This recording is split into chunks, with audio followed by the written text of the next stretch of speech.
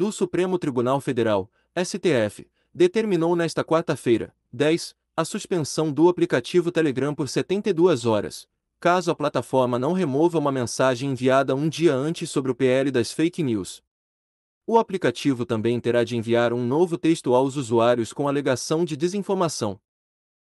A decisão ocorre um dia após o aplicativo disparar mensagens aos usuários da plataforma dizendo que o projeto de lei, PL das Fake News, irá acabar com a liberdade de expressão.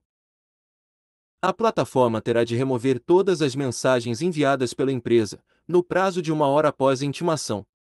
O Telegram também terá de enviar uma nova mensagem aos usuários, no mesmo prazo determinado, com a seguinte mensagem: Por determinação do Supremo Tribunal Federal, a empresa Telegram comunica.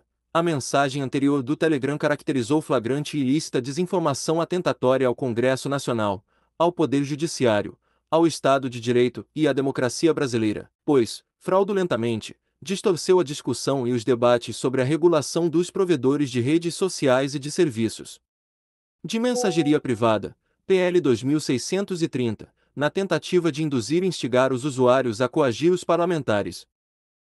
Se o aplicativo descumprir a determinação da remoção e envio, Moraes determinou a suspensão por um período de 72 horas. Moraes também determinou multa de 500 mil reais por hora, caso o aplicativo não remova a mensagem anterior, ou não envie o texto acima aos usuários.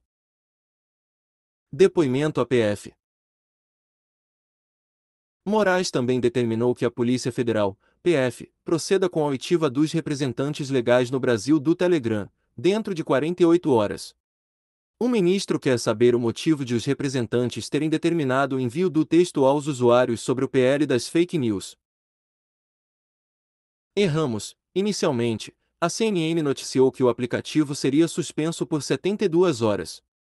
Porém, a suspensão só acontecerá se o Telegram se recusar a obedecer às determinações anteriores, de retirar a mensagem sobre o PL das fake news e enviar uma nova no lugar.